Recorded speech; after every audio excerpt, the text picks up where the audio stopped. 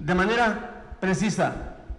Apoyamos el proceso en el cual se eligió al presidente municipal y a ustedes mismos para ser representantes de Cuernavaca durante 2016-2019. Apoyamos al Ayuntamiento de Cuernavaca. Cuernavaca necesita de ustedes, necesita de servicios, necesita de obra. Basta de procesos políticos que nos están ensuciando.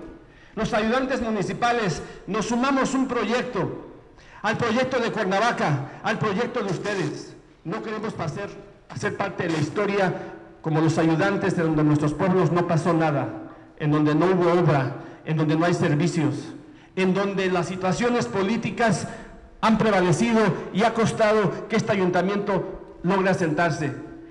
Exigimos de manera enérgica que por favor trabajemos por Cuernavaca, trabajemos por esta administración municipal.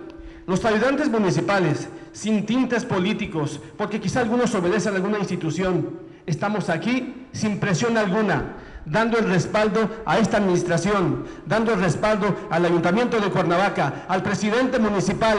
Queremos trabajar, queremos servicios, basta de estar involucrados en un proceso que a todos desgasta.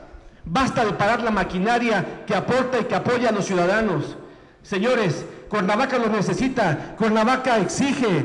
Los pueblos de Cuernavaca están álgidos de servicios, álgidos de obra.